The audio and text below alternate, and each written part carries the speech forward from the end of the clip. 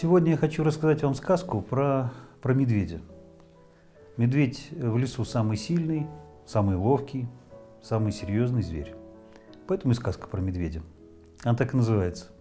Как муравьи медведя проучили в лесу. В одном лесу жило много всяких зверей и птиц. Жил среди них и медведь, самый большой и сильный зверь. Медведь совсем никого не боялся. И вот решил медведь, что раз он самый сильный, значит он самый главный, значит ему все можно.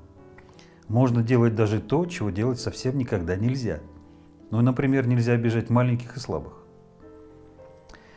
Захотелось как-то медведю меда. Залез он в дупло и разорил пчелиное гнездо. Зайцев обидел, морковку в огороде у них поел. Да не столько поел, сколько затоптал. Забрался в малинник к лисе и всю малину переломал. Пошел на реку за рыбой, бобровую запруду сломал, дом-хатку бобров развалил. Обижаются звери, ворчат. Но разве с таким большим и сильным зверем справишься? Однажды пошел медведь на дальнее болото за клюквой. Дорога длинная, устал Мишка, смотрит вокруг, куда бы присесть, отдохнуть.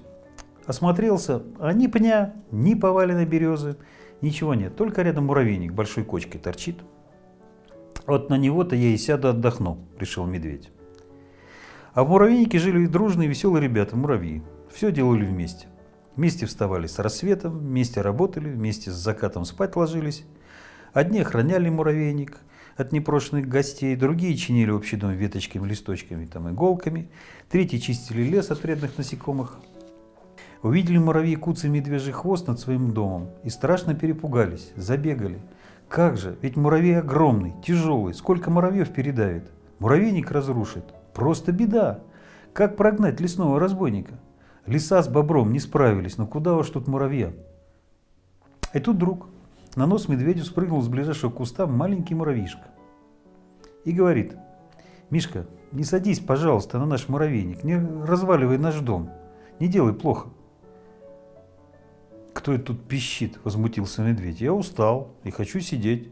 А тебя, муравьишка, несчастный, я и видеть-то почти не вижу, а уж слушать и подавно не буду». Ах, так разозлился муравей. Ну тогда берегись, будем драться. Медведь хотел было рассмеяться на эти слова, но муравей вдруг вцепился ему в нос, да как укусит со всей силы. «Ой!» – заревел медведь. «Ты что кусаешься? Вот я тебя!» «А ты не садись на наш дом, я ж тебя предупреждал. Ну-ка, ребята!» – крикнул муравей, кусая его.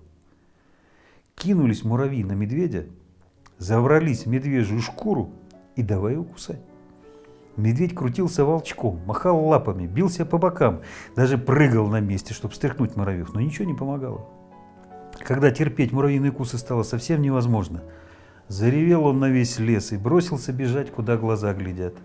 Да разве от муравьев убежишь? Целый муравейник к нему в шерсть забрался.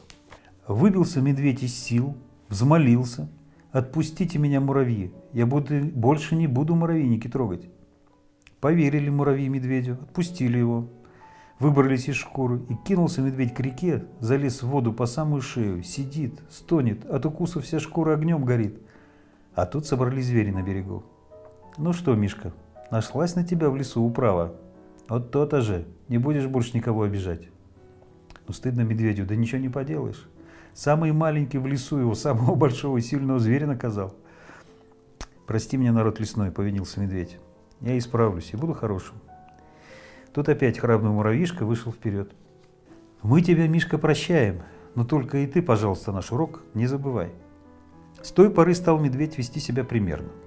Помог бобру плотину новую построить, лисе новый малиник посадить, зайцам на огороде все камни утащил, пни повыкорчевал, а из этих пней пчелом новый улей наделал.